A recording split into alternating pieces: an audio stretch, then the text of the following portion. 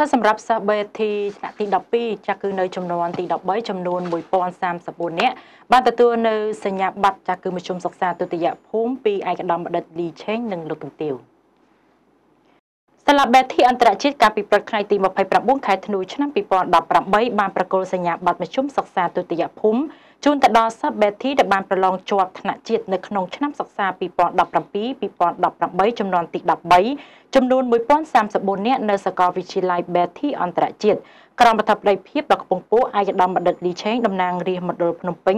និងជាអគ្គនាយក Belty Group និងលោកកន្ទាវឯកឧត្តមចាស់គឺលោកលីប៊ុនឆៃអគ្គនាយករង Betty Group និងជាប្រធានគណៈគ្រប់គ្រងនាយកសាខាបានដឹងថាបច្ចុប្បន្ននេះសាលា Betty អន្តរជាតិមាន22សាខានៅក្នុងនោះ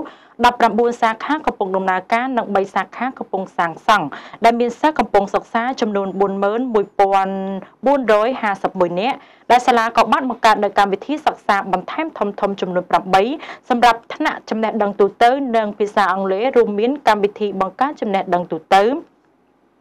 កម្មវិធីពង្រឹងស្មារតីកម្មវិធីទស្សនកិច្ចសិក្សា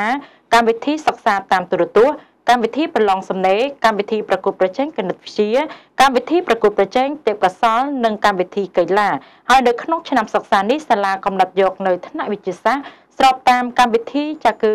ចាគឺរបស់ក្រសួងអប់រំ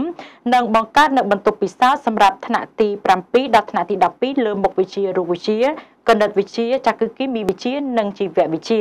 សាលាក៏បានបន្តបើកថ្នាក់បំពន់បន្ថែមថ្នាក់ពិសេសសម្រាប់សិស្សថ្នាក់ទី9និងទី12ផងដែរនៅក្នុងការនោះឯកឧត្តមបណ្ឌិតលីឆេតំណាងរាជមណ្ឌលរាជធានីភ្នំពេញនិងជាអគ្គនាយក Betty Group បានកោតសរសើរចំពោះសិស្សជាលិភីទាំងអស់ ដែលបានខិតខំប្រឹងប្រែងរៀនសូត្រទទួលបាននៅជោគជ័យនេះពេលនេះឯកឧត្តមបណ្ឌិតក៏បានថ្លែងអំណរគុណចំពោះមេដាបៃតានិងអាណាព្យាបាលសិស្សទាំងអស់ដែលបានផ្ដល់ឱកាសនិងជំរុញឲ្យកូនកូនបានសិក្សាបន្ថែមនៅផ្ទះនិងគោរពវិន័យសាលាបានល្អលើពីនេះទៀតឯកឧត្តមបណ្ឌិតក៏បានកោតសរសើរចំពោះសិស្សបេធីថ្នាក់ទី12ដែលបានរក្សានៅជើងឯកលេខ1និងលេខ2ទូទាំងប្រទេស ជាប់ជាប់គ្នារយៈពេល4ឆ្នាំហើយឆ្នាំ2018នេះសិស្សពេងកំហេងក៏បានរក្សាជើងឯកលេខ2នីតិ A លេខ2ចាគឺទូទាំងប្រទេសនិងមានសិស្សនីតិ A 42រូបផងដែរឆ្នាំ2017ដែលមានសិស្សនីតិ A នោះ26រូបដោយគិតពីឆ្នាំ2015ដល់ឆ្នាំ2018នេះសរុបសិស្សនីតិ A ទាំង4ឆ្នាំគឺមានចំនួន94រូប ឯកឧត្តមបណ្ឌិតក៏បានបន្ថែមទៀតថាដែលមានការសំណូមពរពីបិតាបិតាសិស្សចាគឺនឹងអាណាព្យាបាលក៏សិស្សនិស្សិតនៅក្នុងឆ្នាំ2018នេះសាកលវិទ្យាល័យ Betty អន្តរជាតិបានបើកកម្មវិធីសិក្សាជាភាសាជាតិបន្ថែមលើកម្មវិធីសិក្សាអន្តរជាតិដែលមានស្រាប់ដែលបង្រៀនពីជាពីរភាសា គឺភាសាខ្មែររួមជាមួយនឹងភាសាអង់គ្លេសនិងផ្ដល់ជូនដល់ថ្នាក់បំពន់ភាសាអង់គ្លេស40 degree ចាគឺ40 credit ចាគឺនឹងកុំព្យូទ័រមួយឆ្នាំដែលឥតគិតថ្លៃដើម្បីបំពេញសេចក្តីត្រូវការនិងផ្ដល់ភាពងាយស្រួលជូនទៅដល់និស្សិតនៅក្នុងការសិក្សានិងទទួលបាននូវគុណភាពខ្ពស់នៅក្នុងកម្រិតថ្នាក់ឧត្តមសិក្សាសាកលវិទ្យាល័យបានចាស់គឺមានកម្មវិធីសិក្សា5 5គឺមានចំនួនធំនោះគឺ5ធំធំនោះគឺដូចជាថ្នាក់បំពន់ភាសាអង់គ្លេសថ្នាក់